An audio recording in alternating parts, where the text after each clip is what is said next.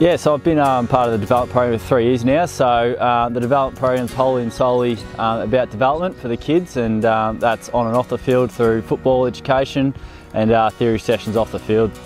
So the program's a 10-week program where um, all kids who get invited from their clubs uh, do eight weeks of program, which is just all about football development um, and yeah, how they can become better at both on and off the field. Uh, and then the last two weeks the squads will be trimmed down to their final uh, 25 which will then go and compete in the uh, regional interleague championships. So the Next Generation Academy program is an AFL initiative um, where now all AFL clubs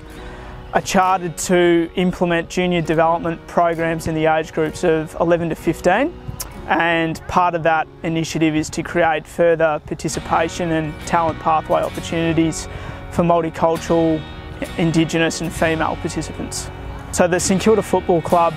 have entered into a, an arrangement with AFL Southeast and the Frankston Junior Football League um, as a community Next Generation Academy league arrangement um, whereby we support the Frankston Juniors interleague program um, with different resources like coaching, high performance and um, a coaching curriculum as well. So what we're looking to get out of this partnership is really to enhance and fast track the development of